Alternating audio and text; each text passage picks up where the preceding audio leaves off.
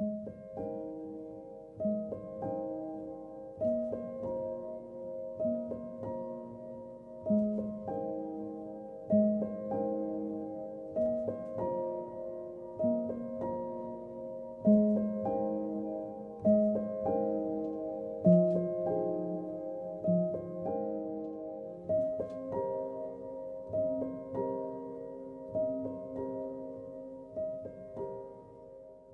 其实山西这个回廊呢，展览很难用在这个空间，它是一个非常线性的空间。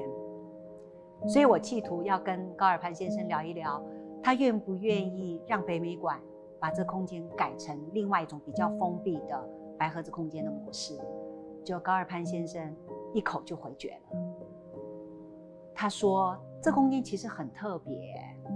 我可不可以让美术馆再暂时感受一下它？”我觉得他的这一番话，让我去醒到说，我们是不是不要一味的照原来制式的观念去思考它，想要把它变成我们要的样子，而是重新去看它跟人的关系是什么？那是不是真的要去找一个艺术家，他可以为了观众的存在而去思考他的展演的规划？呃，我想黎明红就是大家心里很快的想到的共识了。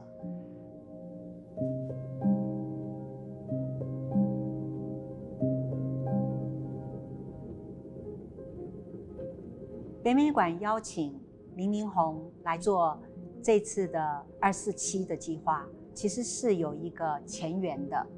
两千年的台北双年展，黎明红把整个美术馆的大厅。完全铺上了他所设计规划出来的一个 pattern，还有就是两千零一年高千惠策划的活性因子这个展览，特别邀请了李明宏，他在一个威尼斯的古迹空间里面，运用他对于空间重新认识的魅力，去改造了普里吉奥尼宫的这个所谓的监狱的环境。我想这是应该是第三次，呃，空间的一种特殊相遇。尤其是当我们告诉他说这个空间我们要让它还原成观众空间的这个想法呢，兴起了他的兴趣。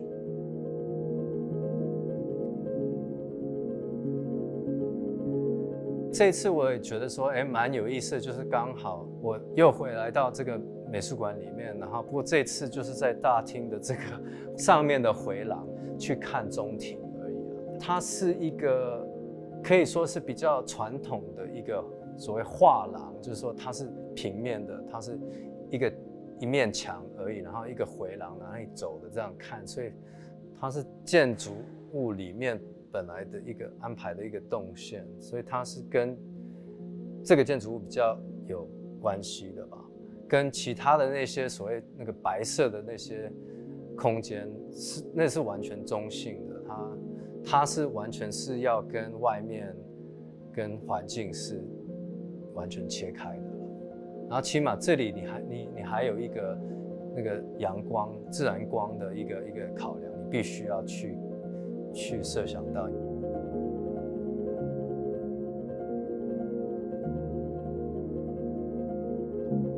在这个空间里面，我做了好几个台座，最早的一个构想就是说。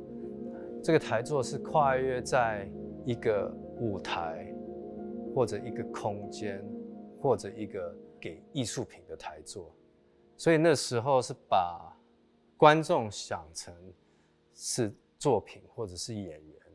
把它摆在台座上面。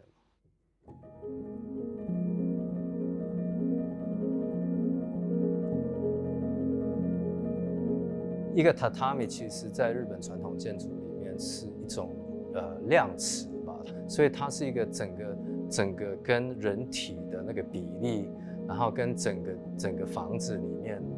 的呃一个一个标准来测量的嘛。所以对我来讲，它是一个在传统建筑里面一个蛮现代的一个因素吧。它就说本来就有这个东西，然后在现代建筑里面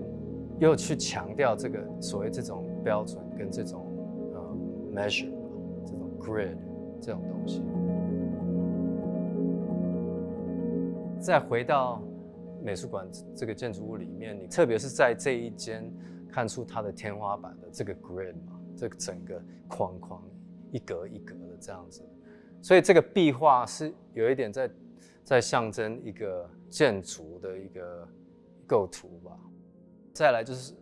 用的这种灯纸灯嘛，所以就感觉好像有一点怀念或者怀旧或者。跟所谓这个环境做一个一个连接吧，那时候就联想到就是便利商店了，他像想要你停留下来了，所以那时候就想想要把这个这个因素带进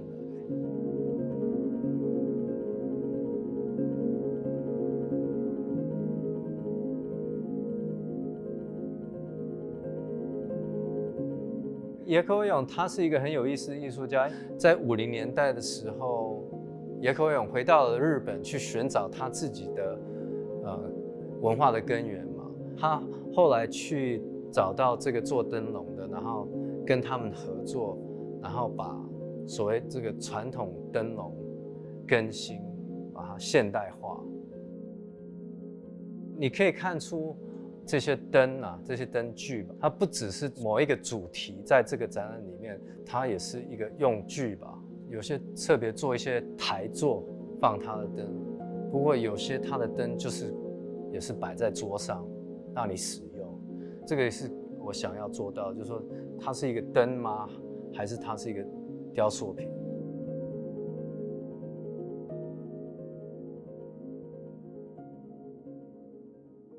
我们跟林明宏互动的过程里面，他对于不只是把空间跟美术馆共同创造，我们有一点点像是共赢他的一个想法以外呢，它不应该只是作为一个静态的存在，应该有一些 programming 可以进来。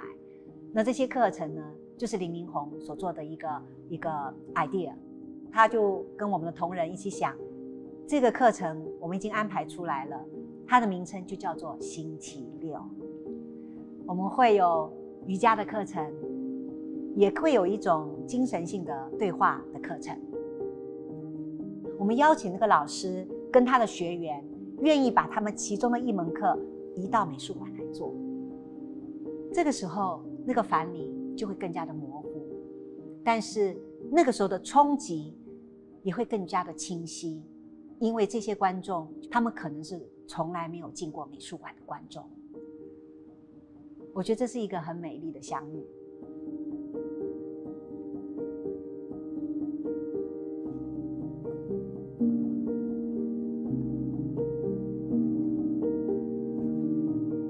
我们回到这个想法，就是什么是社交空间？我觉得这个也是蛮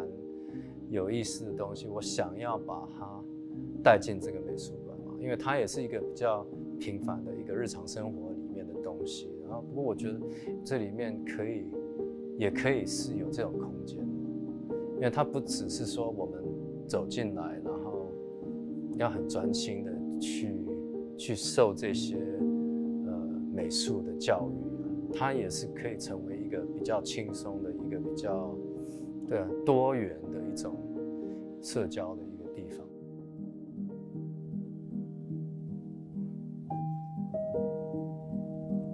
黎明红希望当观众。浏览在他所提供的二四七空间的时候，当他的身体斜靠在高尔潘先生所设计的女儿墙的时候，他们可以感受到这一个建筑师跟一个艺术家或者是空间的规划者，他们之间语言巧妙的一种相取。